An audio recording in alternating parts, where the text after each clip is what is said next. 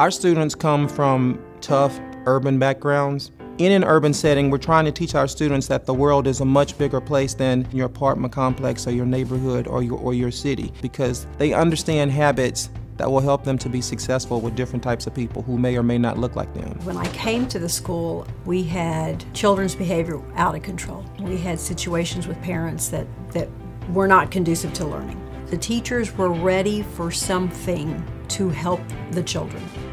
This school has done a 180. I mean, the, the change in the culture of the parents, of the students, of the staff is so different.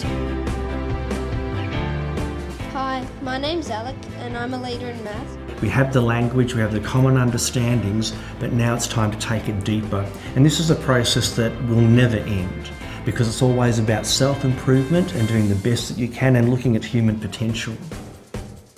We have students representing more than 10 different countries. With the Seven Habit, they have something even more to unite them together. There's no limit of what's the language, what the culture, you know, what belief, what, what religion. It really is universal.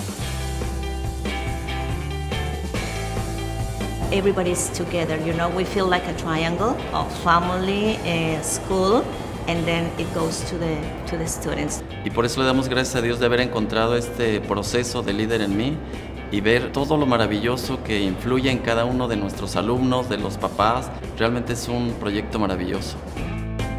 Our school is uh, one of the top 10 schools in our country. We are always looking at new tools that we can give our students. It's not just reading a book, it's really letting them put their knowledge in action. The teachers learn from each other because we're observing each other uh, with the Seven Habits uh, lessons, but also we uh, talk with each other with the Seven Habits language. Come in my classroom, just watch and listen they're all leaders. And you can say that.